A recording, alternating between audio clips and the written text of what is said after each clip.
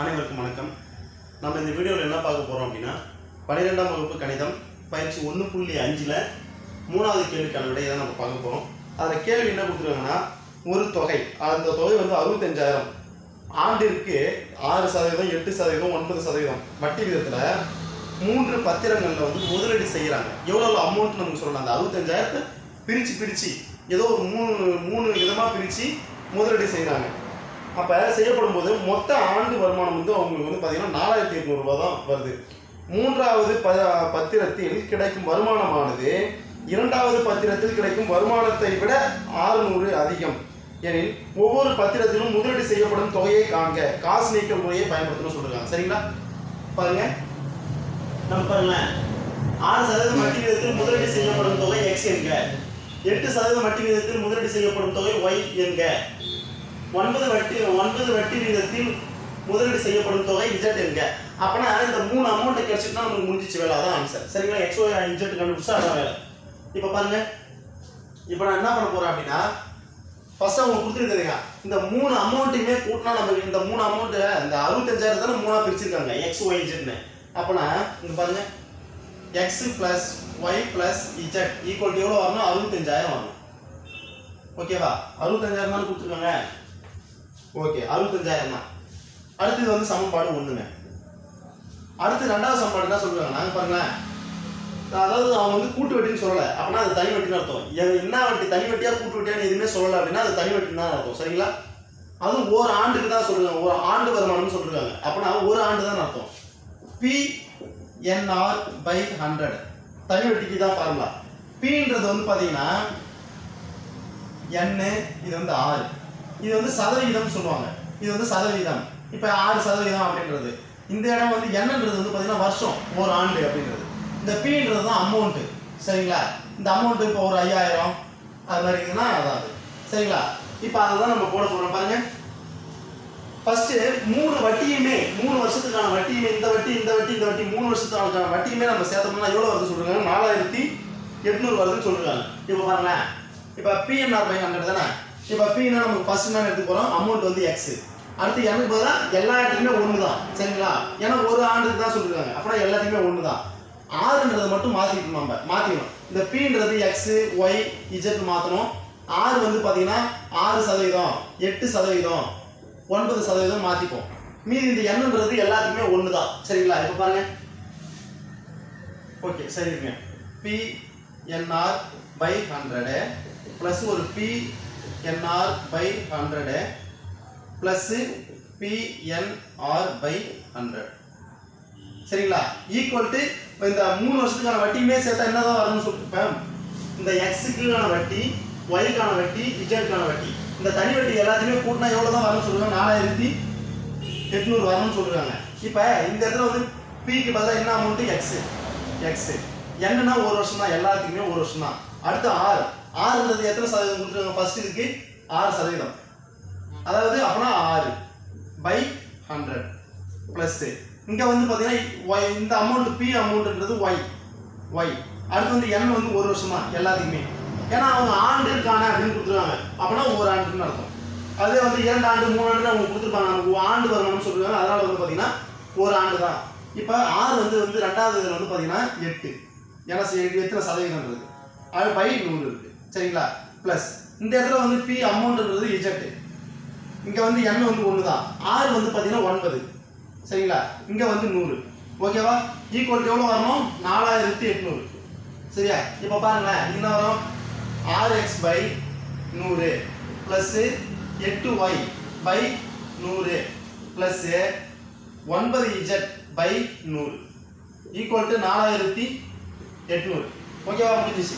இப்போ நம்ம பையில வந்து நூறுலாம் இருந்ததுன்னா நமக்கு வந்து என்னன்னா கொஞ்சம் பெருக்கும் போது கொஞ்சம் கஷ்டமா இருக்கும். அதனால நூறை கேன்சல் பண்ணுறது நான் என்ன பண்ணுவேன்னா இருபுறமும் நூறால் பெருக்க.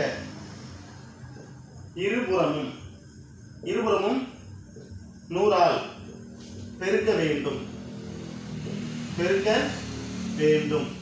ஏன்னா நம்ம பெருக்கிட்டோம்னா உடனே நூறுலாம் பையில கேன்சல் ஆகணுங்க ஆர் எக்ஸ் பை நூறு இன்ட்டு ஒரு நூறு ப்ளஸ் எட்டு ஒய் எட்டு ஒய் பை நூறு இன்ட்டு ஒரு நூறு. ப்ளஸ் ஒன்பது. ஒன்பது இஜட் பை நூறு. இன்ட்டு ஒரு நூறு. சரிங்களா? ஈக்குவல் டு நாலாயிரத்தி எட்நூறு. இன்ட்டு ஒரு நூறு. ஏன்னா ஒரு சைடு மட்டும் பண்ணக்கூடாது இரு சைடும் பண்ணணும். சரிங்களா? இப்போ நான் இதை அழைச்சிக்கிறேன். ஓகே இப்போ இதை அழைச்சி இதை நான் இந்த ஐடியா சொன்னது உங்களுக்கு புரிஞ்சுதா? இப்போ பாருங்க. இப்போ நான் என்ன கண்டுபிடிக்கிறேன்னா அடுத்து இருக்குது பாருங்க. இப்போ இந்த நூறுக்கு இது கேன்சல் ஆகிடும் இந்த நூறுக்கு இது கேன்சல் ஆகிடும் இந்த நூறுக்கு இது கேன்சல் ஆகிடும் சரிங்களா? நீங்கள் அடிக்கும் போது பென்சிலால் அடிக்கணும் இப்போ ஆர்எக்ஸ் மட்டும் இருக்குமா ஃபஸ்ட்டு ஆர்எக்ஸு ப்ளஸ் எட்டு ஒய் அடுத்து வந்து ப்ளஸ் ஒன்பது இஜட் ஈக்குவல் டு நாலாயிரத்தி எட்நூறு இன்ட்டு ஒரு நூறு ஆகுதுங்க அப்படின்னா ரெண்டு ஜீரோ போட்டுங்க ஓகே ஒன்று பத்து நூறு ஆயிரம் பத்தாயிரம் லட்சம். நாலு லட்சத்தி ஐம்பதாயிரம். இதுவும் ஒரு ஈக்குவேஷன் வருது. இது வந்து சமன்பாடு ரெண்டுன்னு வச்சுப்போம். சமன்பாடு ஒன்று சமன்பாடு ரெண்டு கிடைச்சிச்சு அடுத்து வந்து அவங்க இன்னொருத்தர் என்ன சொல்லியிருக்காங்கன்னா மூணாவதுக்கு வர வட்டி வட்டியானது வட்டி வந்து பார்த்தீங்கன்னா ரெண்டாவது வட்டியை விட எத்தனை அதிகம் சொல்லிருக்காங்க ஆறுநூறு அதிகம் சொல்லிருக்காங்க. அப்புறம் மூணாவது டைம்ல நமக்கு வட்டி என்ன வருது? மூணாவது இதுதான் வட்டி. மூணாவது தனி வட்டி இதுதான். அப்படின்னா ஒன்பது இஜட் பை நூறு. இப்போ மூணாவது தனி வட்டி தான் பிஎன்ஆர் பை ஹண்ட்ரடே போட்டுக்கலாம் அப்புறம் பிஎன் இப்போ அதில் வந்து நம்ம எழுதணுமா? மூணாவது. இதுக்கு நான் அந்த பச்சை ஊற சொல்லுங்க மூன்றாவது பத்திரத்தில் கிடைக்கும் வருமானமானது இரண்டாவது பத்திரத்தில் கிடைக்கும் வருமானத்தை விட 600 அதிகம். சரிங்களா? அப்பனா மூன்றாவது பத்திரத்தில் கிடைக்கும் வருமானம் அப்படின்றது வட்டி தானே? மூணாவதுக்கு தனி வட்டி தானே பாரு. மூன்றாவது இஜெட்டுக்கு தனி வட்டினது இதானே? நீங்க பிஎன்ஆர் பை போட்டாலும் அதான் வரும். மூணாவது ஆண்டு வருமானம். வருமானம் இரண்டாவது இரண்டாவது ஆண்டு. ஆண்டு வருமானம். வருமானத்தை விட ஆறுநூறு அதிகம். ஆறுநூறு அதிகம் என்பதால். ஆறுநூறு என்பதால் இப்போ பாருங்க மூணாவது ஆண்டு என்னது? P N R by hundred equal to ஆறுநூறு தானே அதிகம் சொல்லியிருக்காங்க ஓகே அந்த ஆறுநூறு இது கொடுக்கும். இப்போ ரெண்டாவதுக்கான என்னது? ரெண்டாவதுக்கு P N R by hundred தான். இது எதை விட? இப்போ இது வந்து மூணாவது ஆண்டு வருமானம் இரண்டாவது ஆண்டு வருமானத்தோட ஆறுநூறு அதிகம்னு சொல்கிறாங்க அப்பனா ஆறுநூறு கூட்டி நான் இப்போ பாருங்க. இது மூணாவது தானே இப்போ மூணாவதுனா என்னது இஜெட் தானே? இஜெட் தானே மூணாவது அமௌண்ட்டு அப்போனா அமௌண்ட்ன்றது இஜெட்டு என்னன்றது ஒன்று தான் ஆறுன்றது வந்து பார்த்தீங்கன்னா ரேஷியோ எத்தனை ரேஷியோ மூணாவது ஒன்பது. ஒன்பது பை நூறு. ஓகேவா இப்போ ஈக்குவல்ட்டு இது வந்து ரெண்டாவது ரெண்டாவது தானே இது? ரெண்டாவது என்னது? ஒய் அப்போனா அமௌண்ட் வந்து ஒய் எண்ணெய் வந்து ஒரு வருஷம். ஆறு வந்து பார்த்தீங்கன்னா எட்டு சதவீதம். அப்போனா எட்டு பை நூறு. ப்ளஸ்ஸு ஒரு ஆறுநூறு சரிங்களா? இப்போ பாருங்க. ஒன்பது இச்சட் பை நூறு. ஈக்குவல் டு எட்டு ஒய் பை நூறு. ப்ளஸ் ஒரு ஆறுநூறு. இப்போ இந்த நூறு நூறு அடிக்கலாமா அடிக்கக்கூடாது. இது கூட்டல்ல இருக்கு. கூட்டல்லையும் கழுத்துலேருந்து அடிக்கக்கூடாது. பெருக்கல்ல வகுத்தல இருந்தால் மட்டும் தான் அடிக்கணும். சரிங்களா? இப்போ இது வந்து குறுக்கு பெருக்கல் தான். ஓகே குறுக்கு பெருக்கலே பண்ணுவீங்க அதான் கரெக்டாக இருக்கும். அப்படி இல்லைன்னா வச்சுங்களேன் இருபுறமும் நூறாவது கண்டிப்பாக கேன்சல் ஆயிடும் அதை கூட போடுங்க இருபுறமும் நூறால் பெருக்க வேண்டும். பெருக்க பெருக்க வேண்டும். அப்பனா நூறால் பெருங்கன்னா ஒன்பது இஜட் பை நூறு இன்ட்டு ஒரு நூறு. ஈக்குவல் டு எட்டு ஒய் பை நூறு இன்ட்டு ஒரு நூறு. ப்ளஸ்ஸு ஆறுநூறு இன்ட்டு ஒரு நூறு. சரிங்களா? இது ப்ளஸ்ல இருக்கே. ப்ளஸ்ஸும் இப்போ இதெல்லாம் குழப்பிக்க போறீங்க. இந்த நூறுக்கு இது கேன்சல் ஆயிடுமா? இந்த நூறுக்கு இது கேன்சல் ஆயிடுமா? அப்படின்னா இந்த இடத்துல என்ன வரும்? ஒன்பது இஜட் ஈக்குவல் டு எட்டு ஒய் ப்ளஸ்ஸு ஆறுநூறு அந்த நூறாள் பெருக்கத்தில் ரெண்டு ஜீரோ. ஒன்று பத்து நூறு ஆயிரம் பத்தாயிரம் அறுபதாயிரம். ஏன்னா அப்படி கமாலாம் வச்சீங்கன்னா அது எதனா தப்பு பண்ணுறீங்க புள்ளி அது மாதிரி வச்சு விட்டுருங்க. இப்போ இது வந்து ஒன்பது இஜெட் தெரிஞ்சிச்சு இதில் வந்து பார்த்தீங்கன்னா இந்த ஒன்றாவது சம்மடை தான் எழுதி வச்சுக்கலாம் நமக்கு தேவைப்படும். ஒன்றாவது சம்மடை என்ன கிடைச்சது x plus y plus z equal to அறுபத்தஞ்சாயிரம். அடுத்து ரெண்டாவது ஈக்குவேஷன் என்னது? ஆறு எக்ஸு ப்ளஸ் எட்டு ஒய் ப்ளஸ் ஒன்பது இஜெட் ஈக்குவல் டு நாலா ஓகே நாலு ஜீரோ ரெண்டு மூணு நாலு ஜீரோ ஓகே நாற்பத்தெட்டு போட்டு நாலு மூணு ஜீரோ அடுத்து வந்து நம்ம மூணாவது ஈக்குவேஷன் நம்ம இன்னும் கண்டுபிடிக்கல. இப்போ பாருங்களேன். இந்த இதை வந்து இப்போ இந்தாண்ட கொண்டு வந்துடலாமா? இப்போ பார்த்தீங்கன்னா இந்த ஒன்பது எட்டு ஒய் இருக்கா? இந்த எட்டு ஒய் ஈக்குவல் தான் கொடுத்தோம் மைனஸ் எட்டு ஒய் ப்ளஸ் ஒன்பது இஜெட் ஈக்குவல் டு அறுபதாயிரம் வரும். ஓகேவா இது வந்து சமன்பாடு என்னன்னு வச்சுக்க போறீங்க? மூணுன்னு வச்சுக்கோங்க. சரியா? இதான் நமக்கு கிடைச்சிருக்குது. என்னது? மூணாவது சமன்பாடு என்னது பாருங்க. இப்போ நான் இதை கொஞ்சம் அழைச்சிக்கிட்டுமா சரி இல்லை இங்கே இருக்கணும் இங்கே இருந்து அழைச்சிக்கிறேன் ஓகே. இப்போ பாருங்க இப்போ நம்ம என்ன பண்ண போறோம் அப்படின்னா ஃபர்ஸ்ட் சமன்பாடு ரெண்டாவது சமன்பாடு மூணாவது சமன்பாடு கிடைச்சிச்சு இப்போ அவங்க என்ன சொல்றாங்க காசின் அந்த காசு நீக்கல் முறையை பயன்படுத்தி தான் சொல்லிருக்காங்க. அப்புறம் காசு நீக்கல்னா ஒவ்வொருத்தோடைய கேள்வி அதிகமாக ஃபர்ஸ்ட் சமன்பாடு சமன்பாடு. சமன்பாடு ஒன்று கமா ரெண்டு கமா மூணில் இருந்து. இருந்து அப்படின்னு எழுதிட்டு ஃபர்ஸ்ட் சமன்பாடு எல்லாமே பார்த்து பார்த்து கூட எழுதி எழுதிங்க. அதான் கரெக்ட் அப்பனா x plus y plus z equal என்னது வரும்? அறுபத்தஞ்சாயிரம். அறுபத்தி அஞ்சு ஆயிரம் ஓகேவா அடுத்து வந்து ரெண்டாவது சமன்பாடு வந்து பார்த்தீங்கன்னா ஈக்குவேஷன் ரெண்டாவது ஈக்குவேஷன் இது வந்து ஒன்றாவது ஈக்குவேஷன் ஆகுது ஓகே இப்போ ரெண்டாவது ஈக்குவேஷன் தான் வருது. ஆறு எக்ஸ் பிளஸ் எட்டு ஒய் ஆறு எக்ஸ் பிளஸ் எட்டு ஒய் பிளஸ் ஒன்பது இஜெட் பிளஸ் ஒன்பது இஜெட் ஈக்குவல் என்னதுங்க? நாற்பத்தி எட்டு. நாலு ஜீரோ போட்டாச்சா? நாற்பத்தெட்டு நாலு ஜீரோ போட்டாச்சு. அடுத்து வந்து மூணாவது சமன்பாடு. இது வந்து ரெண்டாவது சமன்பாடு இருந்துச்சு இப்போ மூணாவது சமன்பாடு என்னது மைனஸ் எட்டு ஒய் மைனஸ் எட்டு ஒய் ப்ளஸ் ஒன்பது இஜெட் ஈக்குவல் டு அறுபதாயிரம். ஒன்று ரெண்டு மூணு. ஓகே இது வந்து சமன்பாடு மூணு. இப்போ இதனுடைய கெழுக்கள்லாம் என்னது? அதாவது காசு நீக்கல் முறையை தானே பயன்படுத்த சொல்றாங்க. அப்படின்னா இதனுடைய கெழுக்கள்லாம் எடுத்துக்கணும். சரியா? இப்போ இதோட கெழுக்கள்லாம் எடுத்துக்கங்க. ஒன்று ஒன்று ஒன்று ஓகே அடுத்து வந்தீங்க ஆறு எட்டு ஒன்பது. இப்போ இந்த இடத்துல வந்து பார்த்தீங்கன்னா ஜீரோ மைனஸ் எட்டு இங்கே ஒன்பது. இப்போ ரெண்டாவது என்ன வருது? இங்கே ஈக்குவலுக்கு வந்தாண்ட? அறுபத்தி அஞ்சாயிரம். அடுத்து வந்து பார்த்தீங்கன்னா நாலு லட்சத்தி எண்பதாயிரம் எண்பது ஆயிரம் சரிங்களா? இப்போ அடுத்து வந்து பார்த்தீங்கன்னா அறுபதாயிரம். அடுத்து. அறுபதாயிரம் வந்துச்சு. ஓகேவா?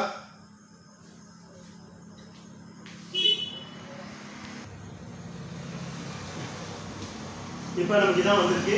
நம்ம நீக்கல்னா என்ன பண்ணணும்னா இந்த காசு நீக்கல்னா இந்த பிரதான மூலை வெட்டத்துக்கு கீழே இருந்து ஜீரோ ஆகணும். இந்த ஆறையும் இதையும் ஜீரோ ஆகணும். அதுக்கான வழியை தான் நம்ம பார்க்க போகிறோம் பாருங்க. ஃபர்ஸ்ட் வந்து தோராயமாக எடுத்து இது என்ன பண்ணால் மாடல்ஸ் மாதிரி ஒரு இது போட்டு ஸ்லாஷ் போட்டு இது எழுதுங்க. சரிங்களா? ஒன்று ஒன்று ஒன்று ஒரு ஸ்லாஷ் போட்டுக்குங்க. இதை எழுதிங்க அறுபத்தி அஞ்சு ஆயிரம்.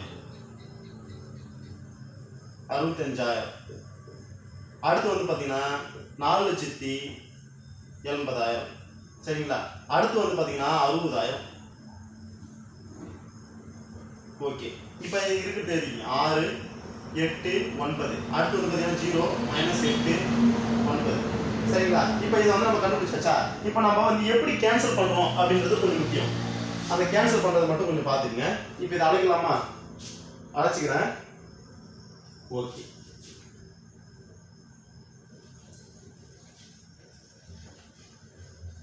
இப்போ நம்ம இதில் வந்து என்னன்னா அந்த கூட்டல் கழித்தல் அந்த சின்ன சின்ன இடத்துல ஏதாச்சும் தப்பு பண்ணிட்டீங்க அப்படின்னா என்ன தப்பாக வரும்? ஆன்சரு அதை மட்டும் கொஞ்சம் பார்த்துக்கணும்.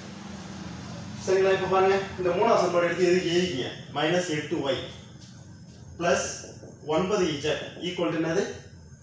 அறுபதாயிரம். அறுபதாயிரங்க. இப்போ நம்ம என்ன பண்ண போறோம் அப்படின்னா இப்போ நமக்கு இது தெரிஞ்சு போச்சு.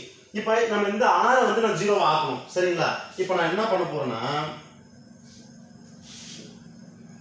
ஆறு ஒன்று அப்படியே தான் ஒன்று ஒன்று ஒன்று சரிங்களா? இந்த ஸ்லாஷ் போட்டுக்கிட்டு அறுபத்தஞ்சாயிரம். அறுபத்தி அஞ்சு ஆயிரம் சரிங்களா? அடுத்து வந்து நான் அந்த ஆறு தான் ஜீரோ ஆக போகிறேன் இப்போ நான் என்ன பண்ணணும்னா ஆர் டூவை இந்த இந்த ஆறை வந்து நான் ஜீரோ ஆகணும். அதுக்கு நான் என்ன பண்ண போகிறேன்னா ஆர் டூ அப்படியே வச்சுக்க போகிறேன் ஆர் டூ அப்படியே வச்சுக்கிட்டு மைனஸ் ஆறால் ஆறு ஒன்று நான் பெருக்க போகிறேன் இப்போ அப்புறம் ஆர் டூ அப்படியே சொல்லுங்க பாருங்க. ஆறு எட்டு ஒன்பது அதுக்கப்புறம் வந்து நான் நாலு லட்சத்தி எண்பதாயிரம். நாலு லட்சத்தி எண்பதாயிரம். சரிங்களா? இப்போ ஆறு ஒன்றை நான் மைனஸ் ஆறால் பெருக்கிறேன் யாருன்னா எல்லாமே மைனஸ் ஆறுன்னு வரும். மைனஸ் ஆறு மைனஸ் ஆறு மைனஸ் ஆறு. அடுத்து வந்து பார்த்தீங்கன்னா எத்தனை ஜீரோ இருக்கு பாருங்க? மூணு ஜீரோ இருக்கு. மூணு ஜீரோ போட்டுங்க. ஒன்று ரெண்டு மூணு ஜீரோ மீதி வந்து அறுபத்தஞ்சை வந்து பார்த்தீங்கன்னா ஆறு அளவு இருக்கணும் ஐயாயிரம் முப்பது. இப்போ பாருங்க அறுபத்தஞ்சை ஆறு அளவு இருக்கணும் ஐயாயிரம் முப்பதுக்கு ஜீரோ மீதி மூணு ஆறாயிரம் முப்பத்தி ஆறு. முப்பத்தி ஒன்பது. சரிங்களா? முப்பத்தி ஒன்பது. ஒன் முப்பத்தி ஒன்பது ஜீரோ சரிங்களா இது வந்து மைனஸ் இப்போ பாருங்க ஜீரோ ரெண்டு இது வந்து மூணு இது வந்து என்ன வரும்னா இதில் ஒரு பத்து தொண்ணூறாயிரம் வருங்க. தொண்ணூறாயிரம் வருமா? ஓகே இப்போ பாருங்க. ஜீரோ ரெண்டு மூணு தொண்ணூறாயிரமா? தொண்ணூறு ஆயிரம் போட்டாச்சு. இப்போ அடுத்து வந்து மூணாவது டைம் ஏற்கனவே ஜீரோ இருக்கு அதனால அதை அப்படியே ஜீரோ மைனஸ் எட்டு ஒன்பது அடுத்து வந்து பார்த்தீங்கன்னா அறுபதாயிரம் இருக்கு. அதனால அறுபதாயிரம் எழுதிக்கிறேன் அறுபதாயிரம். இப்போ இதை அலசிக்கிறேன். ரஃபோ இருக்குது இது. ஓகேவா இப்போ பாருங்க. இப்போ நான் என்ன பண்ண போறேன்னா மறுபடியும் தோராயமாக அப்படின்றத போட்டுட்டு இந்த இடத்துல நான் ஜீரோ ஆகிக்கணும் நமக்கு ஆன்சர் வந்துடும் அப்போனா ஒன்று ஒன்று ஒன்று ஸ்லாஷ் போட்டுடுங்க அறுபத்தஞ்சாயிரம். ஓகேவா அறுபத்தஞ்சாயிரம். அடுத்து வந்து ஜீரோ ரெண்டு மூணு தொண்ணூறாயிரம். ஏன்னா நமக்கு வந்து எந்த இடம் ஜீரோவா ஆகணும் அப்படின்னா இந்த இடம் தான் ஜீரோ ஆகணும். இப்போ நான் என்ன பண்ண போறேன் அப்படின்னா R three tends to R three அப்படின்னு வச்சுக்க போறேன். இதை நான் எதனால பெருக்க போறேன்னா நாலால ப்ளஸ் நாலால பெருக்க போறேன். ப்ளஸ் நாலு. R two R two plus நாலால பெருக்க போறேன். இப்போ ஆர் த்ரீ அப்படியே தான் வச்சுக்கிறேன்? அப்போனா ஆர் த்ரீ என்ன இருக்குன்னு சொல்லுங்க பார்க்கலாம். ஆர் த்ரீ இதுக்கு முன்னாடி சார் கூட பார்த்துக்கலாம் தப்பு கிடையாது. அப்போனா ஆர் த்ரீ அப்படியே தான் வச்சுக்கிறேன். ஜீரோ மைனஸ் எட்டு ஒன்பது அறுபதாயிரங்க அறுபதாயிரம். ஓகேவா இப்போ ஆர் ஆர் டூ வந்து நாலால பெருக்கிறேன் ஆர் டூ இதை தான் நாலால பெருக்க போகிறேன் ஜீரோ எட்டு நாலு பெருக்கினா பன்னெண்டு. நாலால தானே பெருக்கினாங்க? பன்னெண்டு. எத்தனை ஜீரோ இருக்கு பாருங்க? நாலு ஜீரோ இருக்கு. ஒரு ஜீரோ ரெண்டு ஜீரோ மூணு ஜீரோ நாலு ஜீரோ போட்டாச்சு. ஒம்பது வந்து நாலு ஒம்பது தான் முப்பத்தி ஆறு. சரியா? இப்போ பாருங்க. ஜீரோ இதுக்கு வந்து ஜீரோ தான் வரும். இது பத்தொம்பது இருபது இருபத்தி ஒன்று வரும். இதை வந்து பார்த்தீங்கன்னா ஒன்று பத்து நூறு ஆயிரம் பத்தாயிரம் லட்சம். மூணு லட்சத்தி அறுபதாயிரம் இது வந்து அறுபதாயிரம். அப்படின்னா என்ன வரும்னா நாலு லட்சத்தி இருபதாயிரம் வரும். வேணா கூட்டி கூட பாருங்க. மூணு லட்சத்தி அறுபதாயிரம் அறுபதாயிரம். ஜீரோ ஜீரோ ஜீரோ ஜீரோ ஆறு பன்னெண்டுக்கு ரெண்டு மீதி ஒன்று நாலு. நாலு லட்சத்தி இருபதாயிரம். ஓகேவா இப்போ பாருங்க. நம்ம இதை தான் இப்போ இதில் எழுத போகிறேன் ஜீரோ ஜீரோ இருபத்தி ஒன்று நாலு லட்சத்தி இருபதாயிரம். நாலு லட்சத்தி இருபதாயிரம் வந்துச்சு. இப்போ பாருங்க நமக்கு வந்து அந்த காசு நீக்கல் முறையினாவே இந்த பிரதான மூலை விட்டத்துக்கு கீழே இருக்கலாம் ஜீரோ. ஒன்று ரெண்டு மூணு ஜீரோ ஆயிடுச்சு அவ்வளோதான் இப்போ பாருங்க இதனுடைய கேள்வி எடுத்து எதுங்க நம்ம இது என்னென்ன எடுத்துருக்கோம்? எக்ஸோட கேள்வி ஒயோட கேள்வி கேள்வினா அப்புறம் பாருங்க. அப்படின்னா இது என்னது? ஒன்று எக்ஸு ப்ளஸ் ஒன்று ஒய் ப்ளஸ் ஒரு இஜெட் ஈக்குவல் டு அறுபத்தி அஞ்சாயிரம். சரிங்களா? இப்போ அடுத்து ஜீரோ ஒன்றா விட்டுடலாம். ஜீரோ எக்ஸ் தானே விட்டுலாம் இப்போ ஏன்னா ஜீரோ எது கொடுக்குறாலும் ஜீரோ தான். இப்போ இங்கே பண்ணீங்கன்னா ரெண்டு ஒய் ப்ளஸ் மூணு இஜெட் ஈக்குவல் டு தொண்ணூறாயிரம். தொண்ணூறாயிரம். சரிங்களா? இப்போ அடுத்து வந்து பார்த்தீங்கன்னா இருபத்தி ஒன்று இஜெட் ஈக்குவல் டு இதை வந்து இஜெட்டை கரெக்டாக போடுங்க. ரெண்டு மாதிரி போட்டுறாதீங்க. இஜெட் ஈக்குவல் டு நாலு லட்சத்தி இருபதாயிரம். ஓகேவா? இப்போ நமக்கு வந்து பார்த்தீங்கன்னா இதை நான் வச்சுக்கிறேன். இப்போ சமன்பாடு இது என்ன வச்சுருக்கீங்க சமன்பாடு நாலுன்னு கூட வச்சுங்க நாலு. சமன்பாடு அஞ்சு. சமன்பாடு ஆறுன்னு கூட வச்சுங்க தப்பு கிடையாது. சரியா? இப்போ பாருங்க. அப்போ அந்த இஜெட் மட்டும் எடுத்துமே சமன்பாடு ஆறு. ஆறு இருக்குன்னா இருபத்தி ஒன்று இஜெட் ஈக்குவல் டு நாலு லட்சத்தி இருபதாயிரம். சரியா? அப்போனா இஜெட்டை மட்டும் தான் வச்சுக்கிட்டு இதை கூட நாலு லட்சத்தி இருபதாயிரம். இந்த இந்த இருபத்தி ஒன்றால் வகுத்தோம் அப்படின்னா என்ன வரும்னா ரெண்டு. ரெண்டுனா நாற்பது நாற்பத்தி ரெண்டு வந்துடும் அப்படின்னா இங்கே பாருங்க இருபத்தி ஒன்றால் அடித்தோம் அப்படின்னா இந்த கூட அடிச்சுட்டு போட்டுமா? இந்த அடிச்சுட்டு போட்டுக்கிறேன்.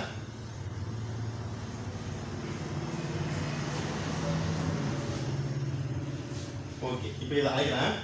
இப்போ பாருங்க என்னது இஜெட் இஜெட் ஈக்குவல் டு இருபத்தி ஒன்று. அதை வந்து என்ன வந்திருக்கு பாருங்க. இஜட் ஈக்குவல்னா நாலு லட்சத்தி இருபதாயிரம்.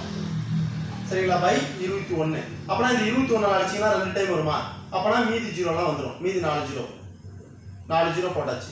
அப்போனா என்ன வரும்? இருபதாயிரம். இஜட் ஈக்குவல் டு இருபதாயிரம்.